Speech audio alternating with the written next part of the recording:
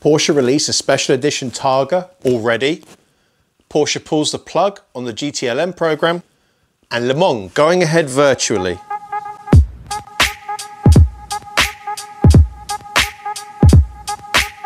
Hello, I'm Sean and welcome to the latest round of Porsche news from your favourite Porsche channel, RennEleven. Up first, you may remember a couple of weeks back, Porsche announced the latest iteration of the 911 Targa. And during that piece, I mentioned this. I have had reliable information from my global source in Porsche that there is a good chance a special edition Targa will appear. Think Mayfair edition, like the last generation car. And what do you know? My mole in the hole was right. Beer tokens coming your way.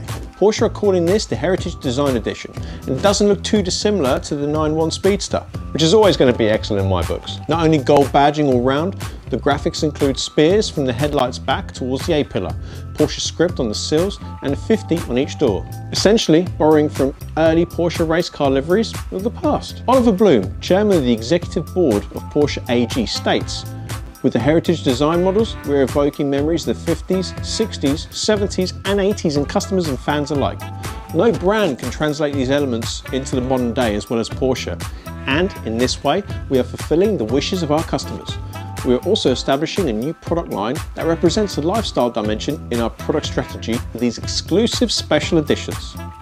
Another thing being introduced here and will be available on all Porsche models throughout their exclusive manufacturer line, Corduroy Velvet.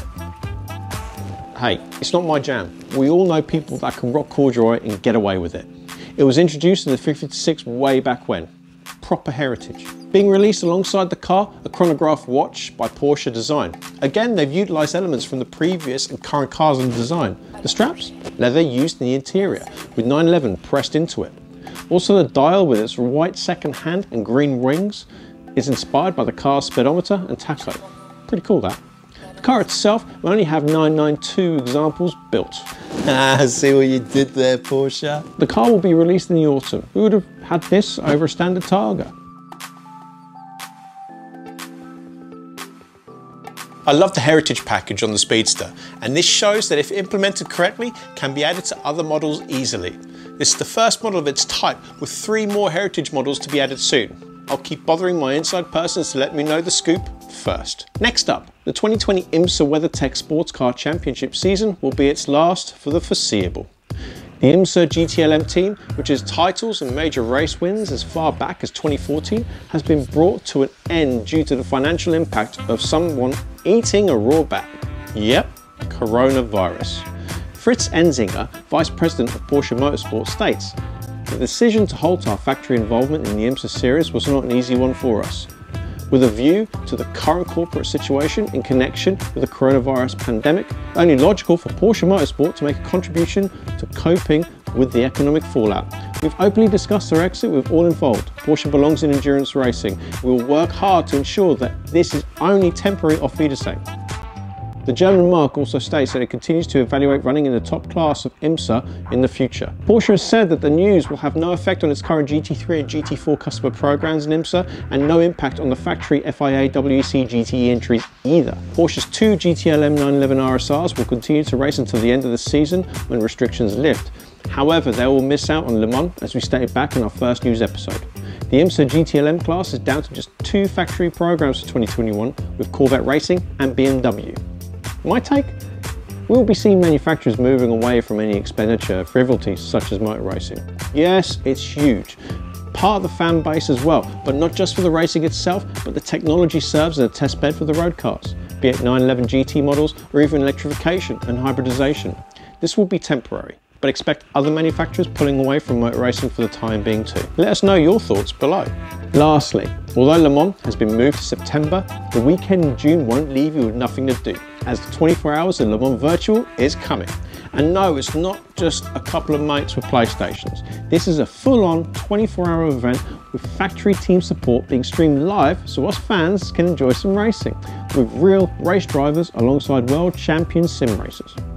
As some may know, since the start of this year's Formula One season, a lot of the drivers have taken to sim racing to keep busy and hone their skills whilst not being allowed in a race car in real life which then led to 24 Hours of Le Mans Virtual, organised by the ACO, FIA WEC and Motorsport Games, for the first time, teams made up of a combination of professional racing drivers and esports champions will challenge each other in the most extreme tests seen in the virtual world, and it will be broadcast live on TV across the globe. So who's taking part? Ah, just Fernando Alonso, Max Verstappen, Lando Norris, Felipe Massa, Giancarlo Fisichella, Juan Pablo Montoya, Jenson Button and Bruno Senna, to name just a few of the professional race drivers.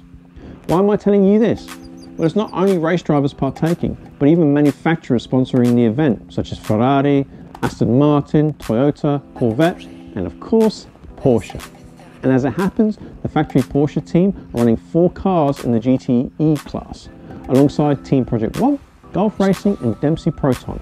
It is set to be a great watch. Get yourselves onto motorsport.tv to watch it and to get an idea of what the racers will be using and you have a good PC, try rFactor 2. Is this the end for real racing?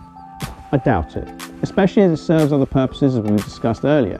But with driving rigs for the home becoming affordable and the improvement over technology, it can allow the everyman the opportunity to get into a real race car. After all, Gran Turismo and Nismo were successful in this a few years back, so maybe now is the time to take the controller off your children and do a few laps of the Sarthe yourself. Thank you all for watching RennEleven News this week. Coming next on the RennEleven YouTube channel, pre-recorded live interviews with key people from the Porsche community. Those live interviews are recorded on Instagram Live, so find us on Instagram at RennEleven and give us a follow to watch them when they're fresh, full and uncut. We'll see you next week for more Porsche news, so remember to subscribe and click that bell button to be notified of the next video. Be safe, be good and much love folks.